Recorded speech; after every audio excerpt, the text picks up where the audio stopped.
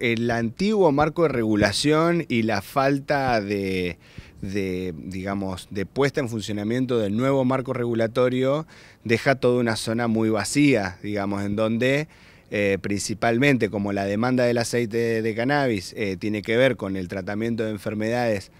eh, bastante complicadas, digamos, no solo en cuanto a sus síntomas, sino a las implicancias en las familias y demás, muchas veces la desesperación hace que eh, concurran a lugares en donde eh, hay gente que intenta aprovecharse económicamente de esta situación, digamos, son narcotraficantes encubiertos de alguna manera, para la ley son narcotraficantes aquellos que preparan un aceite de cannabis y lo venden.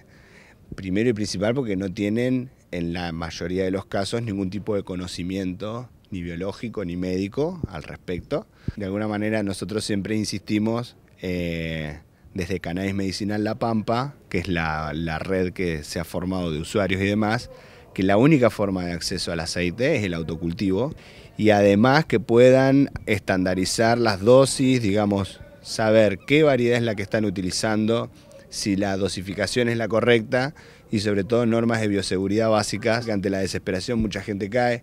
pueden comprar un gotero desde 200 pesos, 1200, 1800. Hay médicos metidos en esto a nivel nacional, ¿sí? que publicitan este organismo de asesoramiento y demás, pero bueno, en realidad también están en un hueco legal. Lo que se necesita es el marco regulatorio de manera urgente. En el caso de La Pampa en particular, lo que se va a hacer es que el Estado provincial va a ser quien centralice la producción y la distribución y que esto va a ser gratuito. De la misma manera que se sigue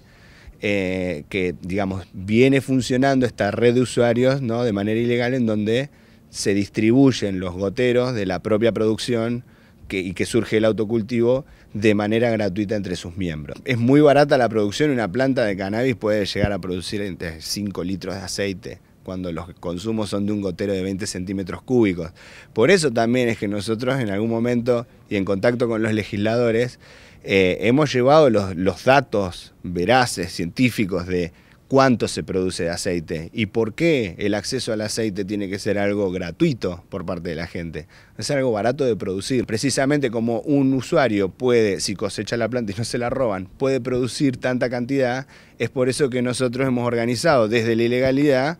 esta, esta asociación, Cannabis Medicinal La Pampa, que en realidad es una red de salud pública que está empujada en la ilegalidad, digamos, es decir, funciona como una red de salud pública porque no pone ninguna restricción a los usuarios medicinales y en, cuanto se los puede proveer gratuitamente del aceite que necesitan, se lo hace, se lo hace sin un costo e incluso con este el consejo o incluso los contactos para que puedan conseguir las plantas y las semillas también de manera totalmente gratuita para que ellos sean independientes y puedan producir su propio aceite. Para no caer en esto que estamos hablando de que sí, acá en Santa Rosa hay lugares este, que, venden aceite y bueno, precisamente nosotros por ahí recibimos consultas eh, respecto a cómo se toma este aceite y la respuesta es no te puedo decir nada porque no sé cómo fue hecho digamos. Entonces, no sé qué variedad, no sé qué concentración, e incluso, aparte, no solamente esto de las normas de bioseguridad, sino que muchas plantas pueden producir alteraciones o agravar aquellos, este, algún tipo de patología.